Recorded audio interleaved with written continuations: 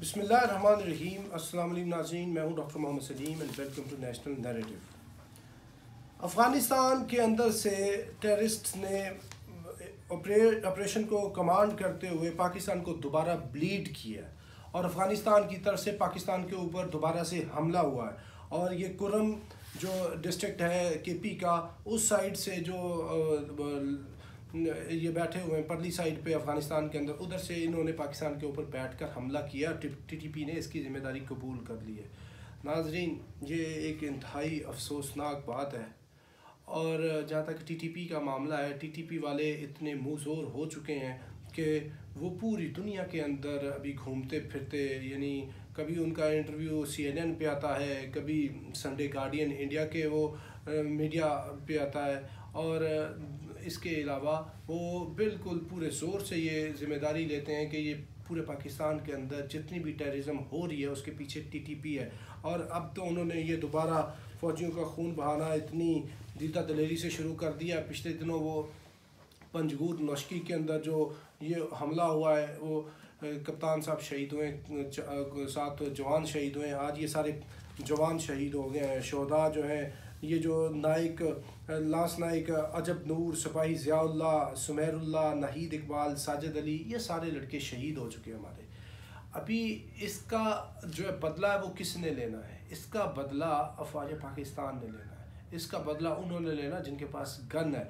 और ये आप कन्फ्यूज़न से निकल जाएँ शेख रशीद अहमद ये कहता है कि अभी भी उनके साथ हमारा डायलॉग चल रहा है। और टीटीपी ने पेशावर के अंदर से भी भत्ता मांगना शुरू कर दिया। ये वज़ी दाखिला साहब अनाउंसमेंट करते हैं। भाई, आप का काम ये है कि इनकी कमर को तोड़ें। अगर वो पेशावर से भत्ता मांग रहे हैं ना तो फिर वो थोड़ी देर के बाद पेशावर से इस्लामाबाद का जो सफ़र है, वो डेढ़ घंटे का सफ़र है। वो फिर इधर भी वो, कुछ अपने एलिमेंट्स भेजेंगे। और लाहौर के अंदर तो अभी अभी बहुत ही ज़्यादा जो वो कुछ और बाशिंदे हैं, उनकी मूवमेंट है। तो आपको इसका सदेबाब करना होगा, ये हमले बढ़ते जा रहे हैं। इसके लिए तालिबान की हुकूमत ने ये बताया कि ये जो हमला है हमारी सरजमीन से नहीं हुआ। तो भाई, आप कह रहे हैं कि सरजमीन अफ़गानिस्तान से हुआ है, वो मान नहीं रहे। और आप उनको, इनके इरिफ्यूटेबल जो प्रूफ्स हैं वो दें। और अगर वो फिर भी इनके ऊपर एक्शन नहीं करते तो फिर जाके आप उनको उधर हिट करें।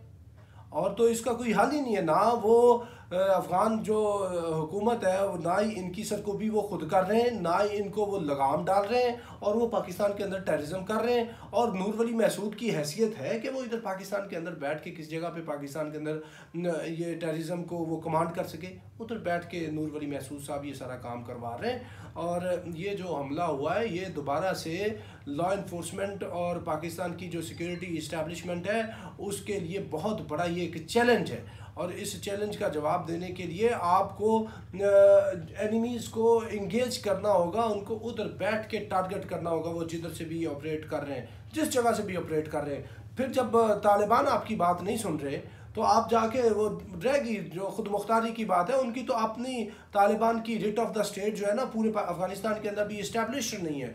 वो कबायली मुआरा है, इतनी ज़्यादा उधर वो ज़्यादा आगे तफरीक है और पूरे के पूरे मुल्क के अंदर तो अपनी उनकी वो रिट इस्टेब्लिश नहीं है। तो आपके ऊपर जो दुश्मन हमला कर रहा है, आप जाके उनको इंगेज करें, कोई ऐसी बात नहीं है। या अगर वो फिर कहेंगे कि जी आपने हमारी सॉवरेंटी ब्रीच की है तो आप बताएँगे, जी हम आपको इतनी देर से कह रहे हैं, अभी भी प्रूफ दिए हैं। और ये कातल है हमारे। हमने फिर बदला तो लेना ये थोड़ी है कि हमारे लोगों का दोबारा से खून बहना शुरू हो जाए। अगर ये आप करेंगे तो फिर पाकिस्तान का खिलवाड़ हो जाएगा। और नाजरीन, इसके साथ मैं आपको एक और बात बताऊँ। जब इतनी बड़ी जंग से ये खत्ता निकला है तो जब बहुत बड़ा जलजिला आता है ना, जलजिले के बाद फिर आफ्टर शॉक्स आया करते हैं। जब 2005 का जलजिला आया था तो हमने वो खुद फेस किया। फेस करने के बाद उसके जो आफ्टर शॉक्स थे, वो बहुत देर तक आते रहे थे। तो उससे भी परेशानी होती थी, लेकिन पता ये था कि मेन जो वो जो जलजिला है, वो गुजर चुका है। अगर ये हिम्मत दिखाएँगे तो इस आफ्टर शॉक से कुछ नहीं होगा। ये आफ्टर शॉक्स आने हमें मेंटली प्रिपेयर्ड रहना चाहिए।